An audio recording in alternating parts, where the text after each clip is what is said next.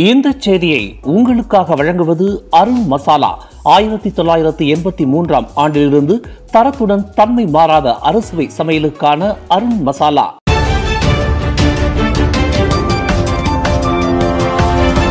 வணக்கம் திசைகளின் ஒரு மணி செய்திகள். இந்திய மாணவனை மதம் மாற்ற முயற்சி மேற்கொள்ளப்பட்டதா? போலீஸ் விசாரணை. கொலலம்பூரில் இடைநிலை பள்ளி ஒன்றில் பயிலும் தமது மகனை.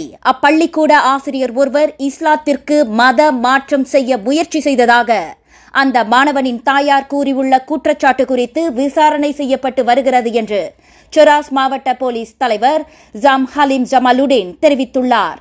இச்சம்பவம் தொடர்பில் கடந்த செவ்வாய்க்கிழமை காலையில் தாங்கள் போலீஸ் புகார் ஒன்றை பெற்றிருப்பதாகவும் அப்புகாரை அடிப்படையாக கொண்டு சிலரிடம் வாக்குமூலம் பதிவு செய்யப்பட்டு வருவதாகவும் ஜாம் அலீம் குறிப்பிட்டார். ஓர் இடைநிலை பள்ளியின் நாற்பது வயது மதிக்கத்தக்க ஆசிரியருக்கு எதிராக அந்த மாணவனின் குடும்பத்தினர் புகார் செய்துள்ளனர் என்பதையும் அவர் விளக்கினார். மாணவர்களுக்கும் பள்ளிப்பாட ஆசிரியருக்கும் இடையிலான தொடர்புக்குரிய வாட்ஸ்அப் குழுமத்தில் நடந்த தகவல் பரிமாற்றத்தில் சம்பந்தப்பட்ட ஆசிரியர் பதினைந்து வயதுடைய தமது மகனை மதம் மாற்றுவதற்கு முயற்சி செய்தது. தமக்கு தெரிய வந்ததாக மூன்றாம் படிவத்தில் பயிலும் அந்த மாணவனின் தாயார் வசந்தி என்பவர் நேற்று செய்தியாளர் கூட்டத்தில் பகிரங்கப்படுத்தியிருந்தார். கார்பந்து உட்பட போட்டி விளையாட்டுகளில் சிறந்து விளங்கும் தமது மகன் மதம் மாறினால் விளையாட்டுத் துறையில் சிறந்து விளங்க முடியும் என்று அந்த ஆசிரியர் ஆசை வார்த்தைகளை கூறியிருந்ததாக வசந்தி குற்றம் சாட்டியுள்ளார். நக்ரி சம்பிலான் மாநிலத்தில் நீலாய் சட்டமன்ற உறுப்பினர் ஜே. அருள்குமார் வகித்து வந்த ஆட்சிக்குழு உறுப்பினர் பதவி. சிரம்பான் லோபா சட்டமன்ற உறுப்பினர் சியூ சேயோங்கிற்கு வழங்கப்படுகிறது. இதன்படி நெக்ரி சம்பிலான் மாநிலத்தில் இரு இந்தியர்கள் வகித்து வந்த ஆட்சிக்குழு உறுப்பினர் பதவிகளில் ஒன்றை சமுதாயம் இழந்துள்ளது. சிறம்பான் நாடாளுமன்ற உறுப்பினரும் டிஏபி பொதுச் செயலாளருமான அந்தோனி லாக்கின் அரசியல் செயலாளராக அருள்குமார் நியமிக்கப்பட்டதைத் தொடர்ந்து கடந்த நான்கு ஆண்டு காலமாக அவர் வகித்து வந்த மனிதவள மற்றும் இஸ்லாமியர் அல்லாதவர் விவகாரங்களுக்கான ஆட்சிக்குழு உறுப்பினர் பதவியை கைவிட நேர்ந்தது. காலியாகியுள்ள அந்த ஆட்சிக்குழு உறுப்பினர் பதவி டிஏபியை சேர்ந்த சியூசே யோங்கிற்கு வழங்கப்பட்டுள்ளது. நாளை வெள்ளிக்கிழமை நெகிரி சம்பிலான் யாங்டி பர்தான் பசார் முன்னிலையில் சியோசேயுங் பதவி உறுதிமொழி எடுத்துக் கொள்கிறார். கந்திங் ஹைலண்ட்ஸில் சுற்றுலா வேன் ஒன்று வேக கட்டுப்பாட்டை இழந்து சாலை தடுப்பை மோதிய கோர விபத்தில் உயிரிழந்தவர்களின் எண்ணிக்கை ஏழாக உயர்ந்துள்ளது. கடும் காயங்களுடன் கொலலும்பூர் பெரிய மருத்துவமனையில் சேர்க்கப்பட்ட வேன் ஓட்டுநரும் சிகிச்சை பலனளிக்காமல் உயிரிழந்தார். இத்துடன் மரண எண்ணிக்கை ஏழாக உயர்ந்துள்ளதாக பஹாங் மாநில போலீஸ் தலைவர் ரம்லி முகமது யூசுப் தெரிவித்தார். ஜலான் கந்திங் ஹைலண்ட்ஸ் நான்கு புள்ளி எட்டாவது கிலோமீட்டரில் நேற்று பிற்பகல் ஒன்று இருபது மணியளவில் நிகழ்ந்த இவ்விபத்தில் அந்த சுற்றுலா வேனில் பன்னிரண்டு பெண்களும் இரு ஆண்களும் பயணம் செய்ததாக தெரிவிக்கப்பட்டது. இதில் அறுவர் சம்பவ இடத்திலேயே மாண்ட வேளையில் இதர எட்டு பேர் கடுமையான காயங்களுடன் மருத்துவமனையில் சேர்க்கப்பட்டனர். அவர்களில் எழுபது வயது சாங் தெம் கோங் என்ற ஓட்டுநர் நேற்றிரவு உயிரிழந்துள்ளார். அந்த சுற்றுலா வேன் பயணிகளை ஏற்றிக்கொண்டு கந்திங் ஹைலண்ட்ஸிலிருந்து இறங்கிக் கொண்டிருந்தபோது இந்த துயரச் சம்பவம் நிகழ்ந்தது. கடந்த ஈராயிரத்து பதினான்காம் ஆண்டு வட யுக்ரைன் வான் போக்குவரத்து பாதையில் மலேசியா ஏர்லைன்ஸுக்கு சொந்தமான எம்ஹெச் ஒன்று ஏழு விமானம் சுட்டு வீழ்த்தப்பட்டதற்கு பயன்படுத்தப்பட்ட. இலக்கை நோக்கி துல்லியமாக பாயக்கூடிய ஏவுகணை பயன்பாட்டிற்கு ரஷ்ய அதிபர் விளாடிமிர் புட்டின் அனுமதி வழங்கியுள்ளார் என்பதற்கான அறிகுறிகள் இருப்பதாக தெரிவிக்கப்பட்டுள்ளது. எம்ஹெச் ஒன்று ஏழு விமானம் சுட்டு வீழ்த்தப்பட்ட சம்பவம் தொடர்பாக நெதர்லாந்து த ஹேக்கில் உள்ள நீதிமன்றத்தில் நடைபெற்று வரும் வழக்கில் நேற்று புதன்கிழமை பன்னாட்டு விசாரணை குழு புதிய ஆவணங்களை சமர்ப்பித்துள்ளது. விளாடிமிர் புத்தின் மற்றும் இதர ரஷ்ய அதிகாரிகள் நேரடியாக சம்பந்தப்பட்டுள்ளனர் என்பதை உறுதிப்படுத்தக்கூடிய வலுவான ஆதாரங்கள் இல்லை என்ற போதிலும் அவர்களை தொடர்புபடுத்தக்கூடிய சில அறிகுறிகள் தென்பட்டுள்ளன என்று அந்த விசாரணை குழு தமது வாதங்களை முன்வைத்துள்ளது.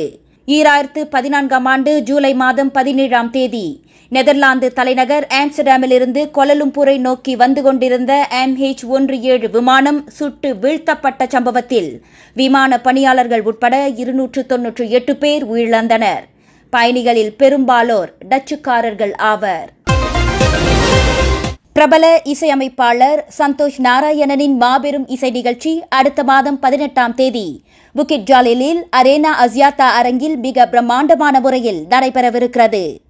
முன்னூற்று அறுபது டிகிரி கட்டமைப்பு மேடையில் ரிச் புரொடக்ஷன் சென்டரியான் பிர்ஹாட் நிறுவனத்தின் பிரம்மாண்டமான ஏற்பாட்டில் பல்லாயிரக்கணக்கான ரசிகர்கள் முன்னிலையில் சவுண்ட் ஆஃப் த சவுத் எனும் தென்னகத்தின் ஒலிகளை கேட்கும் விதமாக இந்த மாபெரும் இசை நிகழ்ச்சி நடைபெறவிருக்கிறது. ரக்கிட ரக்கிட ஏரியா கானர் நெருப்புடா வரை பல பாடல்கள் இந்த நேரடி கலை விழாவில் இடம்பெறவிருக்கின்றன.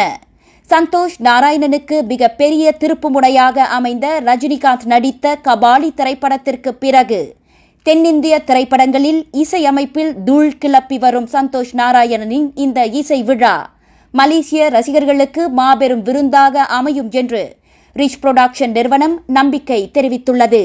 சவுண்ட் ஆஃப் த சவுத் இசை விழா குறித்து நேற்று நடைபெற்ற செய்தியாளர்கள் கூட்டத்தில் பேசிய சந்தோஷ் நாராயணன் மலேசியாவின் இந்த இசை நிகழ்ச்சி முற்றிலும் மாறுபட்டதாக இருக்கும் என்றார். A special segment for my scores in the ஷோவில் அந்த பேக்ரவுண்ட் ஸ்கோர்ஸ் வந்து அந்த படத்தில் நீங்கள் கேட்காத ஃபார்மேட்டில் இருக்கும். And none of the songs நீங்கள் ஸ்பாட்டிஃபை கேட்டுட்டு இந்த ஷோக்கு வந்தீங்கன்னா அதோட பெட்டராக தான் இருக்கணும். That is our target so it won't be like a rehash of the same song அப்படியே இந்த ட்ராக்ஸ் ஓடிட்டு அது மேலே வாய்ஸ் பாடுறது இந்த இதெல்லாம் வந்து இருக்காது. It's going just going to be a rocking performance மலேசியாவில் சந்தோஷ் நாராயணனின் முதலாவது இசை விழாவாக சவுண்ட்ஸ் ஆஃப் த சவுத் விளங்குவதால் இந்த நிகழ்வுக்கான விவரங்கள் தொடர்ந்து அறிவிக்கப்பட்டு வரும் என்று ரீச் புரொடக்ஷன் தெரிவித்துள்ளது. பத்தாங்காலி நிலச்சரிவு பேரிடரில் இடிபாடுகளுக்கிடையில் சிக்கிக் கொண்டவர்களை மீட்பதற்கு பயன்படுத்தப்பட்ட இரு மோப்ப நாய்கள். துருக்கி சம்பவத்தில் பாதிக்கப்பட்டவர்களை மீட்கும் நடவடிக்கைக்காக அந்நாட்டிற்கு நேற்று கொண்டு செல்லப்பட்டன. மலேசிய தீயணைப்பு மீட்பு படையின் கே நைன் பிரிவைச் சேர்ந்த ஃப்ரெங்கி மற்றும் டென்டி என்ற அந்த இரு மோப்ப நாய்கள் இடிபாடுகளுக்கிடையில் சிக்கிக் கொண்டவர்களையும் உயிரிழந்தவர்களையும் கண்டுபிடிக்கக்கூடிய தனித்துவமான திறன்களை கொண்டவையாகும். கடந்த ஆண்டு டிசம்பர் மாதம் நிகழ்ந்த பத்தங்காலி நிலச்சரிவு பேரிடரில் இந்த இரு மோப்ப நாய்களை பயன்படுத்தியே தீயணைப்பு மீட்பு படையினர் எஞ்சிய சடலங்களை மீட்டனர். இந்த இரு நாய்களும் சடலங்களை தேடுவதற்காகவே நிபுணத்துவ முறையில் பயிற்சி அளிக்கப்பட்டவையாகும் என்று கொலலும்பூர் அனைத்துலக விமான நிலையத்தில் செய்தியாளர்களிடம் பேசிய தீயணைப்பு மீட்பு படையின் மூத்த அதிகாரி இஸ்மாயில் அப்துல் கனி தெரிவித்தார்.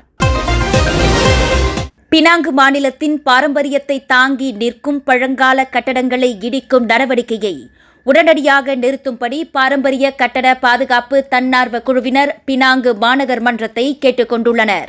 இக்கட்டடங்கள் யாவும் போர்க்காலத்திற்கு முன்பு கட்டப்பட்டவையாகும். தனித்துவமான பாரம்பரிய அடையாளங்களை கொண்ட அந்த கட்டடங்கள் தொடர்ந்து நிலைநிறுத்தப்பட வேண்டும் என்று அக்குழுவினர் வலியுறுத்தியுள்ளனர்.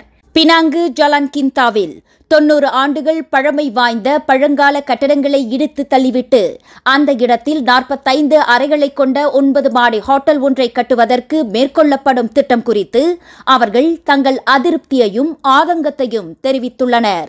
இந்த செய்தியை உங்களுக்காக வழங்கியது அருண் மசாலா. ஆயிரத்து தொள்ளாயிரத்து எண்பத்தி மூன்றாம் ஆண்டிலிருந்து தரத்துடன் தன்மை மாறாத அறுசுவை சமையலுக்கு அருண் மசாலா.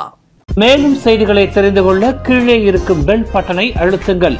உங்கள் மகிழ்ச்சியை வெளிப்படுத்த லைக் மற்றும் ஷேர் செய்யுங்கள். தொடர்ந்து திசைகளோடு இணைந்திருக்க சப்ஸ்கிரைப் செய்யுங்கள்.